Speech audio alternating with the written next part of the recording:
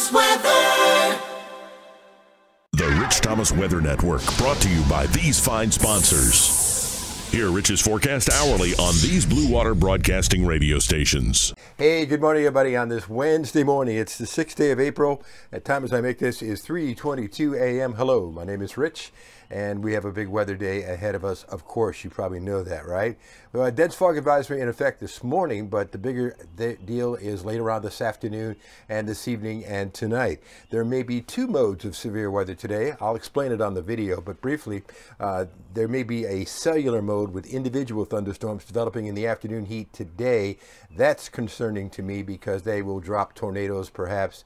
And uh, you know, yesterday there was, was what 38 tornadoes across the, the deep south. Many tornadoes here in Alabama. Many of you heard tornado sirens yesterday yesterday. Here we are in again an, an, enhanced severe weather risk today.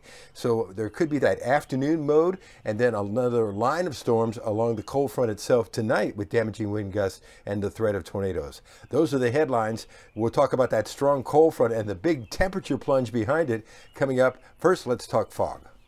Take it easy out there on your morning commute this morning. Dense fog advisory in effect for much of central and north Alabama until 9 o'clock this morning. Uh, visibilities will be below a quarter of a mile in some spots, so take it easy.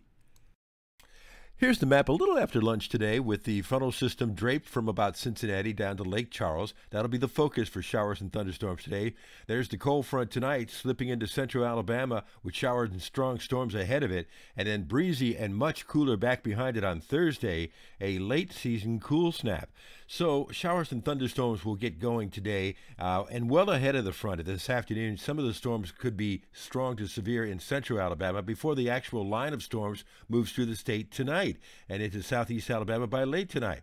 Here's one of the high res models at 4 o'clock this afternoon showing the cellular mode in central Alabama. That could be a tornadic situation with damaging wind gusts, the main threat, but we'll see if that develops. Uh, here is the, uh, uh, the, the line of storms itself by later on tonight, uh, into central Alabama around 8 o'clock, according to that particular uh, model. That's the WRF model. So the Storm Prediction Center again has an enhanced risk for a lot of us for severe weather. A level three, not good. Level two down in South Alabama. and again, all modes of severe weather are on the table, including damaging wind gusts, large hail, and tornadoes uh, today and tonight. So uh, stay weather aware. We'll keep you up to date. Showers and thunderstorms developing this afternoon and con- continuing tonight. Warm and moist with south winds 15 to 20 with a high temperature up to about 84. Lots of humidity. Tonight slow down to about 53. Behind the front tomorrow, and the front will make it to near uh, Tampa by midday, breezy and much cooler. It'll be too cool for April on Friday, with high temperatures barely into the low to mid 60s at best. Same thing on Saturday. Nights will be crazy cold. I mean, for this late in the season, around 40 on Saturday morning, and maybe even upper 30s perhaps on Sunday morning. I think Sunday afternoon we warm up uh, to the mid to upper 70s. That'll be nice.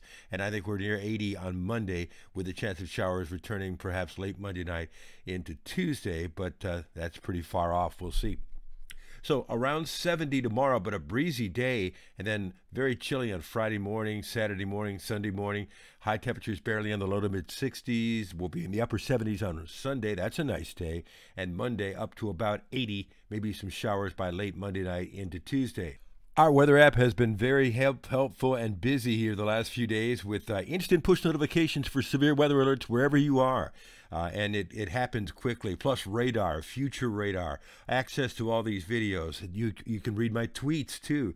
Uh, so much more. Go to the App Store and search Rich Thomas Weather. It's a free app. By the way, just a little side note, at 3:30 this morning, the tornado sirens were going off in East Montgomery and I'm told other parts of the city as well. So that was obviously a bad mistake, a, a malfunction. Uh, tornado sirens in the middle of the night here uh, on a on a tornado day. It, it wasn't supposed to happen. All right, so another tornado day today here in Alabama. We've had a lot of them here lately. Uh, stay weather aware. We'll stay on top of it on radio, on television, uh, on social media, and on your weather app as well. Uh, meteorologist Ryan Stinnett and I will talk weather on TV this morning. Our first weather hit is at 5:50 a.m. on CBS 8 and ABC 32. Live on the radio this morning from 6 to 9 on News Talk 93.1. We'll talk about it some more. There probably won't be a video video tomorrow, or maybe not even a blog update because I'll be involved in severe weather coverage tonight. Um, we'll see. We'll just play this all out by ear. All right, we'll stay on top of this. We'll get through this. I'll see you later. Have a good one.